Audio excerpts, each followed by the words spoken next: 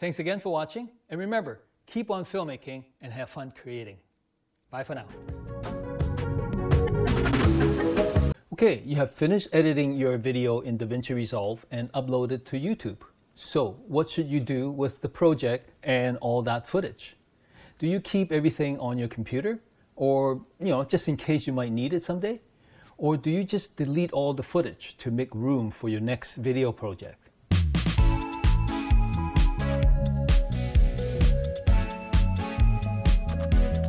If you're new to my channel, please consider subscribing to let me know to keep on making these types of videos. And remember to click the bell so you'll be notified next time a new video is uploaded.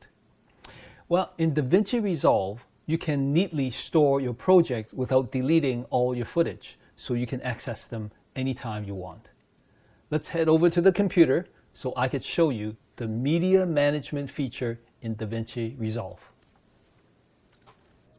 Here we are in DaVinci Resolve 17. To use media management, we need to go up to File and then select Media Management. Right here, we have three options. Entire project, timeline, and clips. You would use clips if you're copying just certain clips within your project and timeline is copying your timelines. As you can see, I have a second timeline here, which I always like to use to create thumbnails for my YouTube videos. Some other people may uh, use additional timeline to do a test edit, or they may edit scenes in different timeline, so they could use this differently. Because we want to copy the entire project, we would select entire project. Here we have two options, copy and transcode. You would use transcode if you need to change the format of your project, maybe selecting a different video format um, so it, it will have a better playback or you would you go into uncompressed depending on what you need um, or you know make a, the file even smaller so you would uh, make changes here if you need to. What I like to do is just use copy. This will copy exactly what I have uh, the original file that it was used in my project. So um, the destination will be on the desktop. You can select use media and trim keeping X number of frame handles. Um, right now, if it's set to zero, you are selecting exactly what you have trimmed this clip to be. If you go up, uh, my timeline is on a 24 frames per second. So if I select 12 frames, this will give me tw- uh, half a second. This means that I, I, I'm using 12 frames before and I'm keeping 12 frames after this clip. So if I need to make any minor adjustment either way, I could do this. Every clip here is trim, but it will keep 12 frames before and after of this trim. All right. And this will give you the, the smallest file size. If you're using this, which is exactly the same as this, if you're using the, the, the, the both timeline. Okay.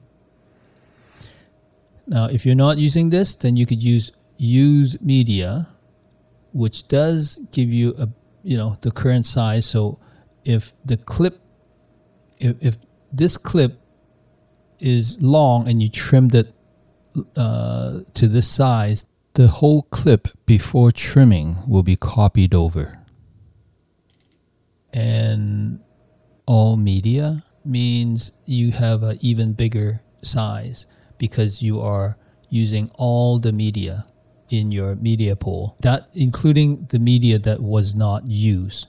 Um, say, for example, you put all your media into your media pool, and you some you select to use and some you don't.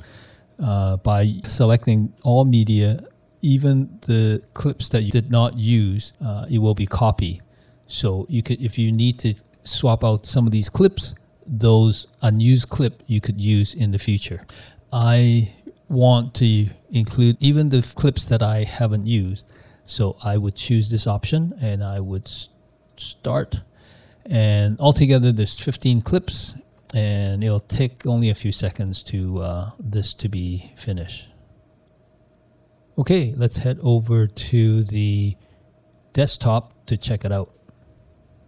Okay, here we are on the desktop, and this is the folder that Media Management created. Let's open it up. Here we have all the folders include where the images and the clips all uh, all all in one place. Okay, all together, and even the song that it was used in the video, it was there. So this is it everything all together in this one file and you could file it and keep yourself organized thanks to DaVinci Resolve with this media management tool. As you can see, the media management tool will save you space on your computer, helps you organize your projects and files, save you time, and make your workflow easier and more efficient. If you find this video helpful, please click the like button below so YouTube will share it to more people. Thanks for watching, and remember, keep on filmmaking and have fun creating. See you next time.